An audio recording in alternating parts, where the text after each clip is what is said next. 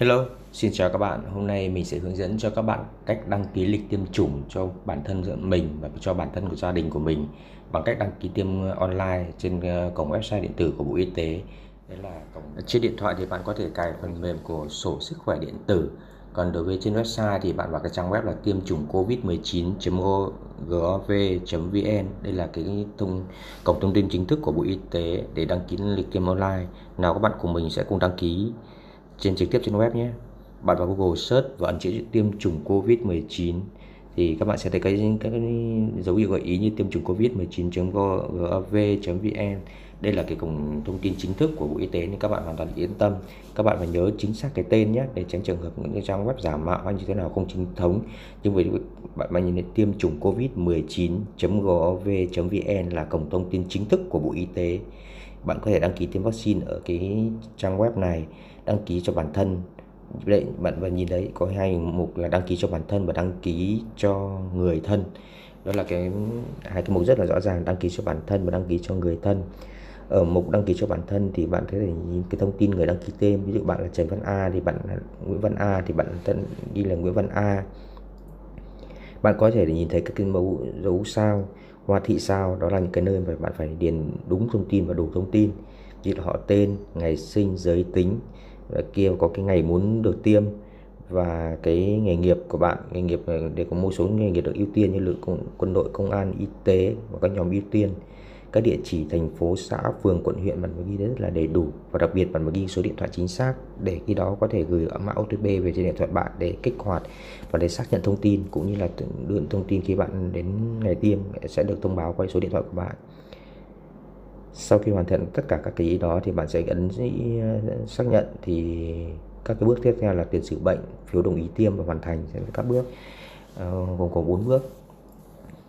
Đấy, cái tiền sử bệnh thì bạn đối có những bệnh bệnh lý nền nào đó bạn phải khai báo y tế để có có cái lịch tiêm chính xác nhất. Ví dụ bạn tiêm ở phường xã hay là ở trong cái trạm y tế hay là tiêm ở bệnh viện đối với người có bệnh lý nền chúng ta hãy cùng làm thử nhé.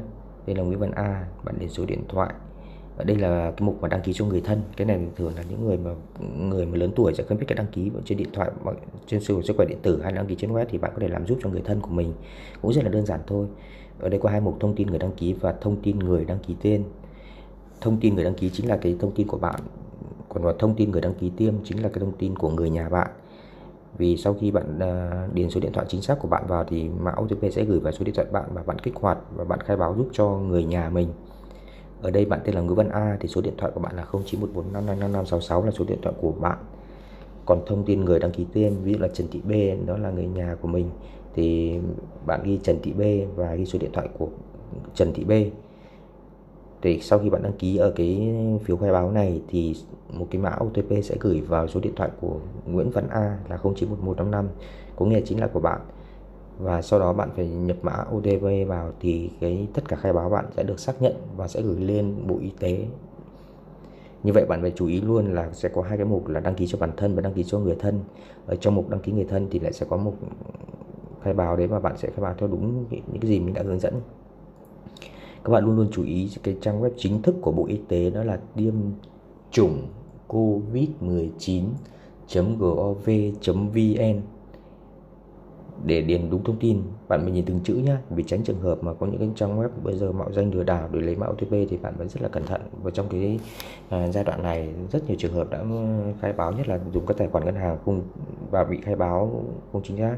Cái này là do của bộ y tế gửi lên nên bạn hoàn toàn yên tâm. Nhưng các bạn phải nhớ đúng cái tên trang web tiêm chủng covid 19 gov vn các bạn đăng ký càng sớm càng tốt để đến lượt, để lịch đi tiêm. Vì khi tiêm chủng cái này thì bạn có một cái đề kháng rất là tốt, càng sớm thì cái đề kháng bạn sẽ càng cao hơn. Và sau hai mũi thì gần như là bạn rất là yên tâm. Này. còn cái cách thứ hai là các bạn thể đăng ký theo sổ điện tử được. Nếu bạn thấy hay, hãy ấn like và share. Xin chào và hẹn gặp lại các bạn.